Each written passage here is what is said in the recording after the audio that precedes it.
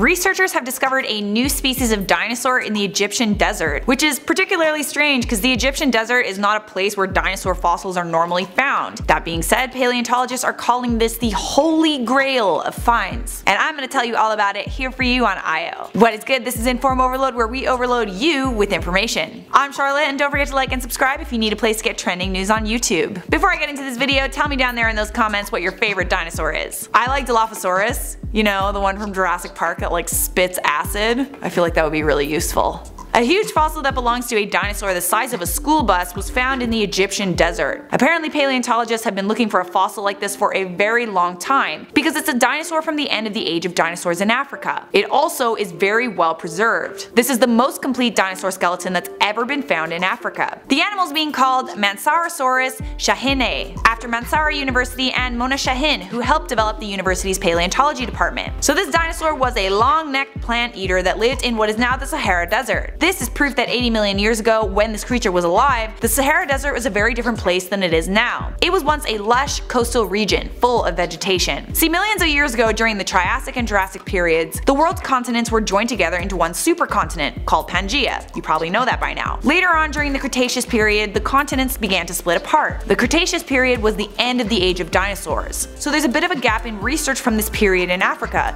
simply because no complete dinosaur skeletons have been found. That might not be because they don't exist, there very well might be more, but paleontology in Africa has lagged behind paleontology in Europe and America. Scientists are hoping that this discovery will help determine how dinosaurs evolved in Africa during a time period where the continents had shifted. Mansourasaurus was closely related to the creatures that were found in Europe and Asia, rather than the dinosaurs that lived in South America and Southern Africa. This research has been published in the journal Nature Ecology and Evolution. Alrighty guys, I'm gonna respond to a couple of comments now. King of Potatoes said, what I do every day. 1. Wake up. 2. Watch I.O. 3. Eat potatoes. 4. Go to school. 5. Don't pay attention in school. 6. Watch I.O. 7. Fail the 8th grade.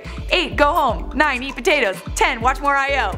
Wow, what a comment. Thank you, King of Potatoes. You got Ugandan Warrior said, you have to know the way, Charlotte. I know the way to the next video. All you gotta do is click one of these on the screen right now, like this one about the world's first talking whale. Such a cool story. Click it to find out more. By the way, IO has Instagram and Twitter. Follow us at Inform Overload. And don't forget to turn on notifications so you never miss a video. See ya!